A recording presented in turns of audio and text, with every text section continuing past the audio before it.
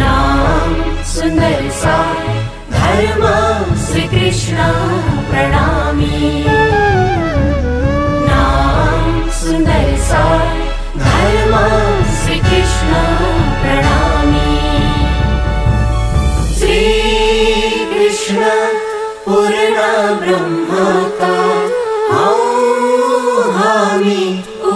सत्यो। निजानन्द सम्प्रदाय आचेरातीत आचैरातीत दिव्या ब्रह्मापुर अपुरो परं परं सदनन्द मन्त्राणि निजाना। शतदूरुश्री निर्वचन्द्रजीरा प्रणनाथजे कुमेरा श्रीरा श्यामजे भज सुेद पनमादकेदं जपो कृष्ण योग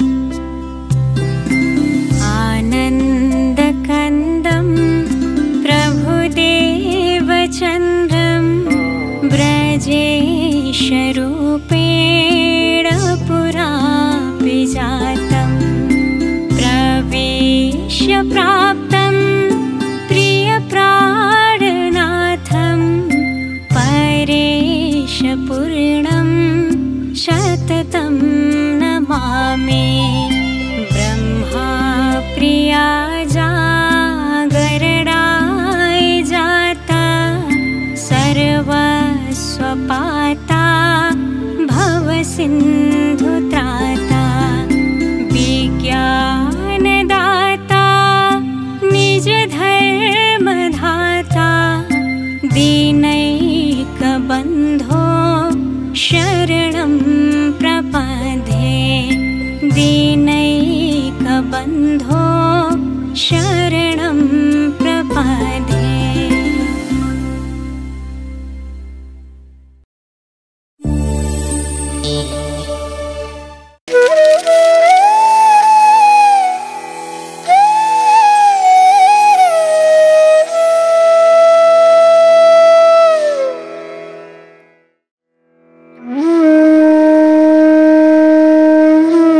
सुन्दर साजीमा कोटि कोटि प्रणाम। हामी नित्य प्रतिदिन यस सन्ध्याकालीन समयमा श्रीमद् वित्तक कथा सामाजिक सञ्जाल यो प्रणामी सिङ्गिङ आइकनको पेजको माध्यमद्वारा युट्युब च्यानल मार्फतद्वारा हामी वित्त कथा श्रवण गरिरहेका छौँ।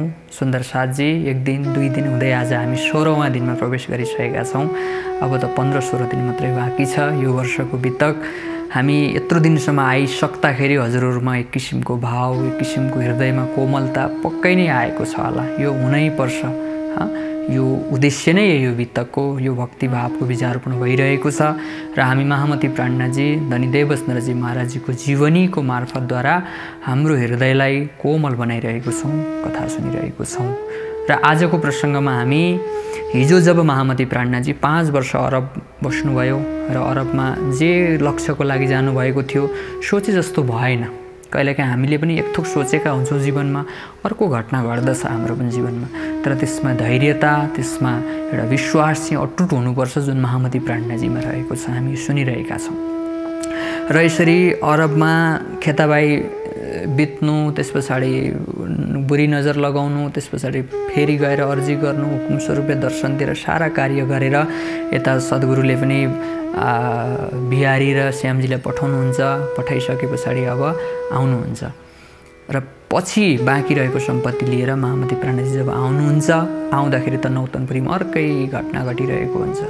सद्गुरु पनि आश गर्नुभएको छ कहिले आउँछ मेहराज? मेरै पछि मेहराज हात जागनी भन्नुहुन्छ सद्गुरु दिन प्रतिदिन। म पछाडि मेहराजले जागनी गर्छ भनिसकेपछि थोरै अब बिहारी बालबाईले थोरै सल्लाह गर्नुहुन्छ सद्गुरुले त मेहराज मेहराज भन्नुहुन्छ खालि। अब यो धर्मको काम त खास नियमले त मैले पाउनुपर्ने हो। मैले कसरी हुन्छ अब मेहराज ठाकुरलाई? सद्गुरुको नजरमा नराम्रो देखाएर आफू राम्रो हुनका लागि त्यस्तै किसिमको राज्यले एउटा पात्र बनाउनुहुन्छ सुन्दर साजी त्यस्तै किसिमको रोल दिनुभएको हुन्छ। यसमा कहिले नेगेटिभ कहिले सोच्नु हुँदैन। किनभने कंश नभएको भए कृष्णको महत्त्व हुन्न थियो। फिल्ममा पनि हेर्नुहोस् न गुन्डा भएन भने हिरोको महत्त्व हुन्न त्यो रमाइलो हुँदैन।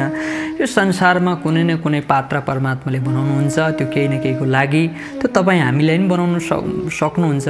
हामी पुरानो इतिहास हेर्दा पो यस्तो बालबा यस्तो बिहारी भन्छौँ। के थाहा? हामी पनि त्यस्तै छौँ कि? हाम्रो पनि स्वरूप त्यस्तै पो छ कि? हाम्रो चिन्तन त्यस्तै छ कि? यसलाई सकारात्मक लिएर अब त्यो परमात्माले त्यस्तो किसिमको एउटा चेतना हालिदिनुहुन्छ। र बालबाईसँग आएर सल्लाह गर्छन् बिहारी श्यामजीले के भन्नुहुन्छ? मेराज ठाकुर त उहाँ गएर बोल्दै बोलेन सारा सम्पत्ति हडपेर बसेको रहेछ। अब मान्छेले आरोप लगाउन थाल्यो भने जे पनि बोल्छन् हाम्रो बुद्धि बिग्रियो भने हामी पनि बोल्छौँ। तर त्योबाट एकदम सजग हुनुपर्छ हामी यो अध्यात्मले हामीलाई सिकाउँछ। त्यस पछाडि अब अब जब महामती प्राणनाजी आउनुभयो आइसके पछाडि यता बालबाईले के तयार गर्नुभएको हुन्छ। राजकोषमा गएर त्यतिखेर राजाको कोषमा गएर मेरो भाइको सम्पत्ति मेराजले हडपेर लिएर आउँदैछ। जति पनि सम्पत्ति छ त्यसमा मेरो अधिकार हुन्छ। यदि मैले पाइनँ भने बरु राजकोषमा जाओस् भनेर एउटा मुद्दा जस्तो यस्तो एउटा फरियाद गरेकी हुन्छन्। र महामती प्राणी जब अरबबाट आउने बित्तिकै जब आफ्नो देश गुजरातमा प्रवेश गर्ने बित्तिकै त्यहाँनिर त्यहाँको सुरक्षाकर्मीहरूले एक खालको आरोप लगाएपछि त पुष्टि दिनु पऱ्यो लामो समय भनिन्छ चालिस पैँतालिस दिन बसेर सबै मिलाएर त्यो पैसा राजकोषमा जान्छ। राजाको कोषमा त्यो बालबाईले पनि प्राप्त गरिदिनेन्। र अब खाली हात लिएर केवल सद्गुरुको चरणको भने जब सद्गुरुको पासमा आउँदाखेरि सद्गुरुलाई पनि एउटा यस्तो सङ्कटमा पारेको हुन्छन् बालबाई र बिहारी श्यामजीले कि हे सद्गुरु महाराज यसरी हेर्नुहोस् त मेहराज ठाकुरले त खेताबाईको सम्पत्ति हडपेर हामीसँग बोल्दा नि बोलेन यस्तो गर ठुलो के अब थाहा छैन के के त्यो आरोप लगाए यहाँ यस्तो कुरो लालदास महाराज लेख्न सक्नुहुन्न। यो प्रसङ्गै छैन वितकमा सङ्केतमा लेखिदिनु भएको छ यी प्रसङ्ग सद्गुरु धाम गएको प्रसङ्ग पनि छैन यहाँ। है हामीलाई पो एउटा कथानक शैलीमा भन्नुपर्छ होइन? तर लालदास महाराजको हृदय सद्गुरुप्रतिको पहिचान सद्गुरु राज्य स्वरूप धाम जानुभयो भने उहाँ लेख्न सक्नुहुन्न सङ्केतमा छोडिदिनु भएको छ। तर पनि कथानक एउटा इलम परम्परामा हामी चिन्तन गर्दछौँ। र जब आइसके पछाडि जब महामती प्राणजी आउनुहुन्छ यता सद्गुरुलाई त्यस्तो किसिमको एउटा अप्ठ्यारो परिस्थिति बनाइदिएको हुन्छन् कि हे सद्गुरु महाराज हजुरले मेराज ठाकुरको प्रणाम स्वीकार गर्नुभयो भने म त्यो कुवामा हाम फालेर मर्छु। यो मेरो मेरो यो निर्णय हो भनिसकेपछि अब त्यो हट बाल हट स्त्री हट कसले सक्छ र हेर्नुहोस् न सद्गुरु महाराज अब के बोल्ने अब? अब यत्रो परमधामको दिव्य ज्ञान लिएर आएको त्यस्तो पावन नौतनपुरी धाममा यस्तो घटना घट्यो अरे भनेपछि त राम्रो हुँदैन। कारण गुरु शिष्यमा जोडिन्छ त्यही भएर सद्गुरु बाध्य भएर के गर्नुहुन्छ? बस्नुहुन्छ। तर महामती प्राणनाजीलाई यो थाहा छैन। महामती प्राणनाजी त यत्रो पाँच वर्षको शारीरिक वियोग आत्मिक दर्शनको आश लिएर जब सद्गुरुको चरणमा आएर सद्गुरु महाराज प्रणाम गरेर प्रणाम गर्दाखेरि सद्गुरु महाराजले आफ्नो मुख छोप्नुहुन्छ। सद्गुरु महाराजभित्र पीडा छ जलन छ चाहेर पनि प्रणाम गर्न सक्नुभएको छैन। उता बालबाई बिहारी ढोकामा बसेर च्याइरहेको छन्। त्यस्तो किसिमको एउटा घटना घट्दछ सुन्दर सालजी। बार बार प्रणाम गर्नुहुन्छ कि हे सद्गुरु महाराज मबाट के गल्ती भयो? मेरो प्रणाम किन स्वीकार गर्नुहुन्न? हजुरले नै त पठाउनु भएको मलाई यस्तो यस्तो दुःख आइपऱ्यो। तर पनि हजुरको आश हजुरको विश्वास लिएर मैले यस्तो यस्तो सारा वृत्तान्त सुनाएर एक डेढ घन्टा बस्दाखेरि पनि सद्गुरुले प्रणाम स्वीकार नगरिसके पछाडि महामती प्राणनाजी यहाँबाट आफ्नो घरमा जानुहुन्छ सुन्दर साजी यो प्रसङ्ग वितकमा आउँदछ। झट्ट घटना हेर्दाखेरि प्रणाम स्वीकार गर्नु भएन तर यसको पछाडि केही न केही महाकारण हुन्छ। धेरै गुरुजनहरूले धेरै चिन्तन गरे यसको कारण राख्नुहुन्छ। एक त अब सद्गुरु महाराज आफ्नो शरीर छोडेर जाँदै हुनुहुन्छ।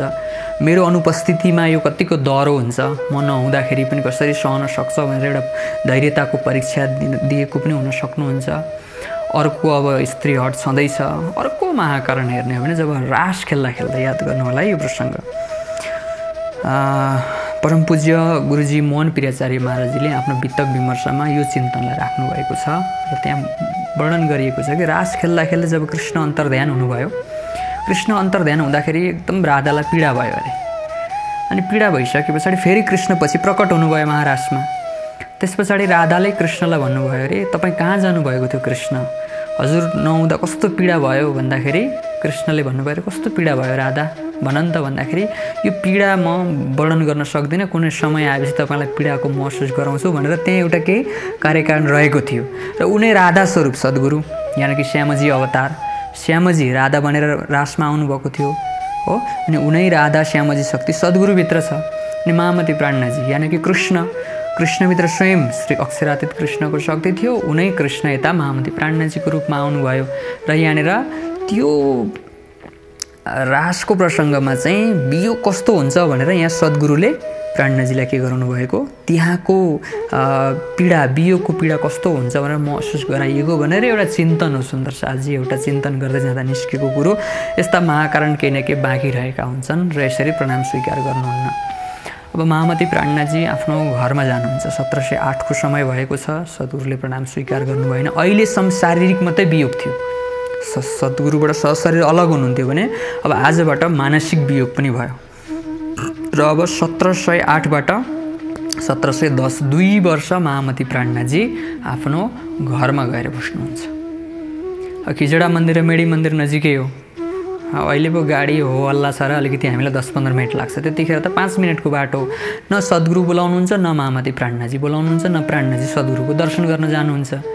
पीडा दुइटैलाई छ पछि गएर महामती प्राणनाजी भन्नुहुन्छ के भन्नुहुन्छ सुन्दर साजी याद छ? हे सद्गुरु महाराज हजुरले मलाई प्रणाम स्वीकार नगर्दाखेरि मलाई जुन पीडा छ नि त्यो त पीडा सहन गर्न सक्छु म। तर मेरो प्रणाम स्वीकार नगर्दा हजुरलाई जुन परिस्थितिमा राखेका छन् हजुरलाई जुन पीडा छ नि त्यो पीडा चाहिँ म सहन गर्न सक्दिनँ भन्नुहुन्छ। यो राज्यको खेलपछि महाकारण बुझेपछि त महामती प्राणनाजीले त्यो भाव राख्नुहुन्छ। र यो सत्र सय आठदेखि सत्र सय दस बिसको दुई वर्षलाई जुन वियोग भयो विरह भयो सद्गुरुबाट अलग हुनुभयो यो भावलाई सटरितु ग्रन्थमा महामती प्राणजीले पछि हप्सा जिल्ला प्रकट गराउनुहुन्छ यो बाढी सटरितु ग्रन्थको भाव नै सत्र सय आठदेखि सत्र सय दसको बिचमा दुई वर्ष सद्गुरुबाट अलग हुँदाखेरि सट ऋतु यानि कि छवटा ऋतुहरूमा तुलना गरेर प्राकृतिक प्रकृतिमा यस्तो परिवर्तन आयो मुना पलायो झरना आयो पानी सारा हरियाली आयो चाडपर्व आयो सद्गुरुले यसरी चाडपर्व मनाउनुहुन्थ्यो मलाई बोलाउनुहुन्थ्यो तर सद्गुरुले मलाई बोलाउनु भएन भनेर त्यो ऋतुहरूसँग तुलना गरेर आफूभित्रको विरहको भावलाई महामती प्राणजीले प्रकट गर्नुभएको सुन्दर साजी। सट ऋतु ग्रन्थको भाव नै यो दुई वर्ष अलग हुँदा त्यतिखेरको प्रसङ्गलाई सम्झेर उत्रेको बाणी चाहिँ पछि हो सत्र सय पन्ध्रमा। तर सत्र सय आठदेखि सत्र सय दस बिसको त्यो विरह हेर्नुभयो भने बहुत भावमा महामती प्राणनाजीले आफ्नो सद्गुरुप्रतिको विरहको भाव राख्नुभएको छ। त्यो भएर ऋतु ग्रन्थ भन्ने बित्तिकै ऋतु छौडा ऋतु छौडा ऋतुमा के के बदलाव आउँछन्? तर मेरो हृदयमा बदलाव आएन म सद्गुरुलाई दर्शन गर्न सकिनँ। त्यो पीडा मानसिक पीडा वियोग सहन गर्नुभयो। र जब सत्र सय दसको समय भइसकेपछि अब परिवारमा बस्नुभएको छ महामती प्राणनाजी त आफ्ना दाजु भाउजू हुनुहुन्छ। अनि अस्ति एउटा घटना हजुरले याद गर्नुभएको छ नि श्यामल दासलाई मार्न भनेर जानुभएको थियो नि होइन? तिम्रो खेता भाइ र के अरे गङ्गाजी भाइ र तिम्रो सद्गुरुलाई गाउँबाट निकाल्छु भनेर जब श्यामल दासले भनिसके पछाडि अब मार्न जाँदाको प्रसङ्ग अब उनै दाईको घरमा उनै दाईले कमाएको पैसाको अन्न खानु परेछ। अब मान्छेले बाहना खोजेको हुन्छ नि कतिखेर चाहिँ त्यो रिस फेरौँ भनेर त्यो त धरतीको गुण हो। त्यस पछाडि श्यामल दास त ठिकै छन् भाइको अवस्था बुझ्नुहुन्छ।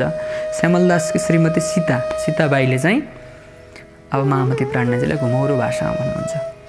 अनि मेराज ठाकुर भाइ खोइ त तपाईँका सद्गुरु खोइ सद्गुरु सद्गुरु भनेर दाईसँग झगडा गर्नुहुन्थ्यो रात दिन घर परिवार छोडेर जानुहुन्थ्यो खोइ त तपाईँका सद्गुरु सद्गुरुको पासमा पनि जानुहुन्न खोइ जुन दाईलाई मार्न भनेर आउनुभएको त तिनै गुरुको कारणले आज तिनै गुरुबाट अलग भएर यहाँ दाईको थाहा छैन यो व्यवहारिक कुरा के के भन्नुभयो यहाँ वितकमा समावेश छैन। होइन कुनै न कुनै रूपले यसरी त्यस्तो वचन लगाइसके पछाडि अब महामती प्राणनाजीमा अर वैराग्य अझै वैराग्य आयो कि संसारमा पैसा भन्ने कुरो ठुलो रहेछ। सबै थोक होइन तर पैसा ठुलो कुरो आज त्यही आर्थिक अवस्थाको कारणले हेपिरहेकी छिन् भाउजूले। होइन आज समाजमा पनि हामी घर परिवारमा पनि हेर्छौँ नि हामी कसैले अलिकति धेरै सम्पत्ति कमायो भने अलिकति आफूभन्दा सानो कमजोरीलाई हेप्ने अलिकति सानो मान्ने यो संसारको विभेद संसारको प्रकृतिको गुण हो यो।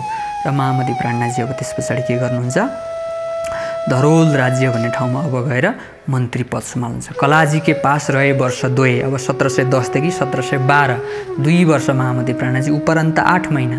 दुई वर्ष आठ महिना यसरी महामती प्राणाजी गुजरात जानुहुन्छ। कलापी मागी बक्सिस अब धरोल राज्य कलाजीको पासमा गएर अब मन्त्री पद सम्हाल्नुहुन्छ। किनभने महामती प्राणाजीको पिता केशव ठाकुर त्यसै मन्त्री। कार्यकुशलता राम्रो थियो र छोराको त्यो कार्यकुशलता देखेर सिधै मन्त्रीमा नियुक्त गरिदिनु भयो अब त्यस पछाडि मन्त्री पद सम्हाल्नु भएको छ तर मनमा एक किसिमको सन्तोष छैन सुन्दर शाहजी याद गर्नुभएको छ हजुरहरू गलत ठाउँमा गलत कार्य गर्न जाँदै हुनुहुन्छ भने तपाईँको मनले साक्षी हन्ड्रेड पर्सेन्ट दिँदैन।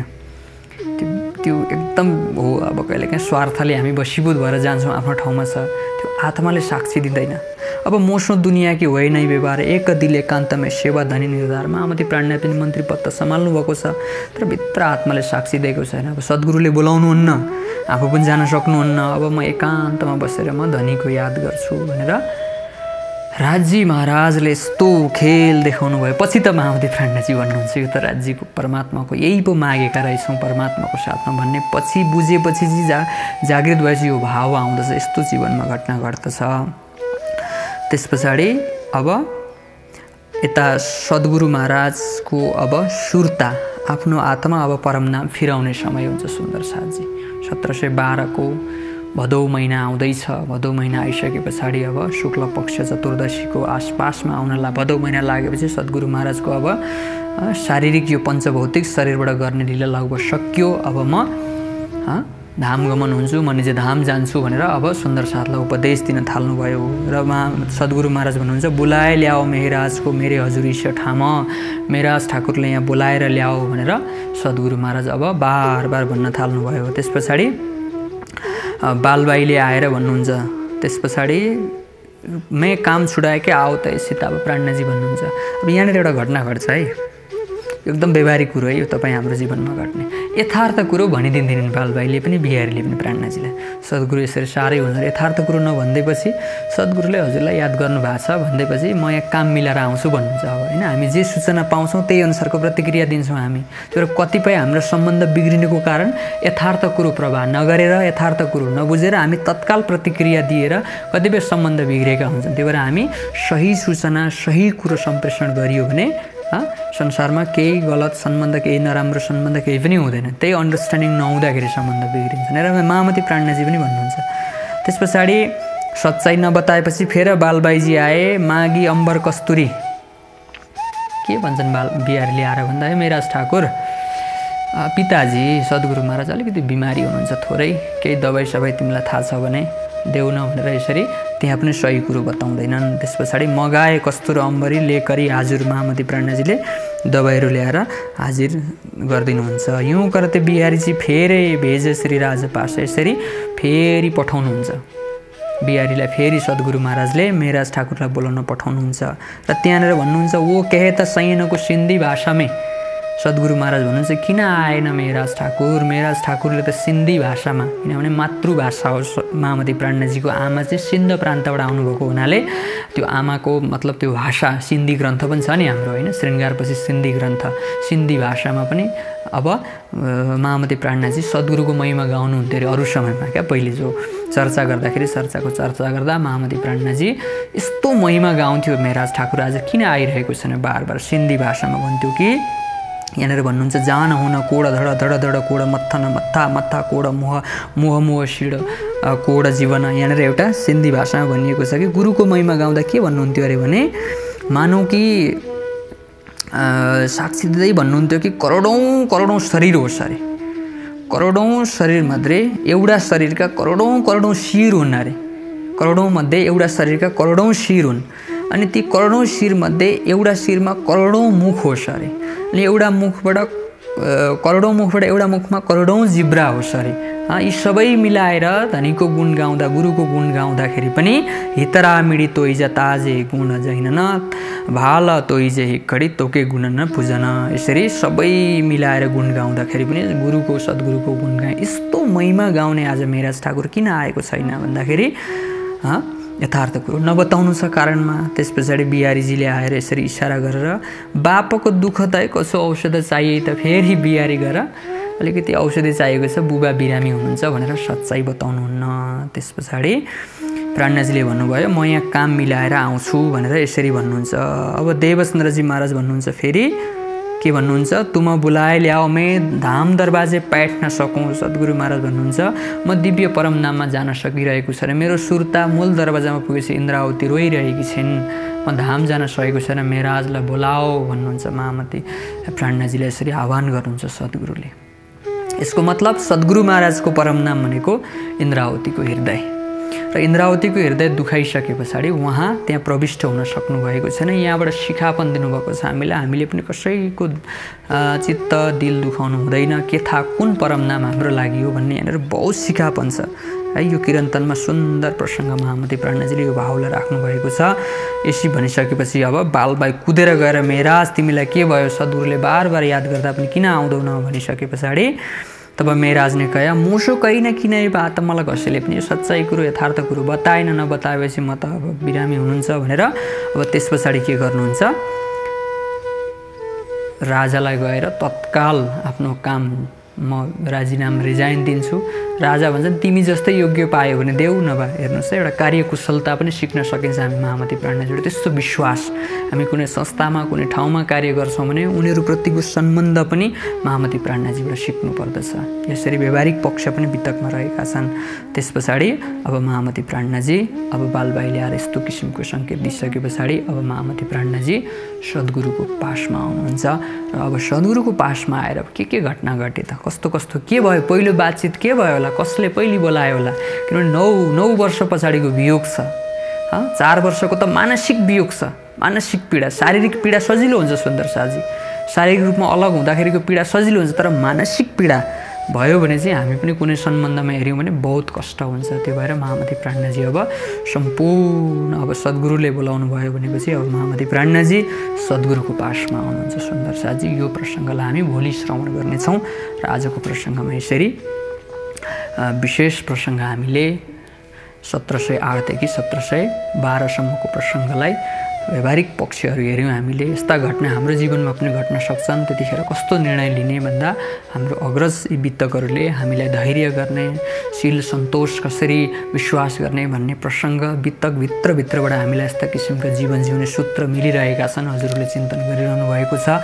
भन्दै भन्दै भोलिको प्रसङ्गमा सुन्दर साजी अत्यन्तै मार्मिक प्रसङ्ग छ अत्यन्तै पीडादायी प्रसङ्ग छ सद्गुरु महाराजको धाम गमनको प्रसङ्ग महामती प्राणनाजीको सद्गुरुप्रतिको भाव यी सबै प्रसङ्गहरू हामी भोलि श्रवण गर्नेछौँ भन्दै आजको प्रसङ्गबाट बिदा माग्छौँ। सबै सबै सुन्दर साजीमा पूर्ण ब्रह्म परमात्माको कृपा बनिरहोस् भन्दै सबैमा कोटी कोटी प्रणाम गर्दै आज बिदा हुन्छौँ। प्रणाम।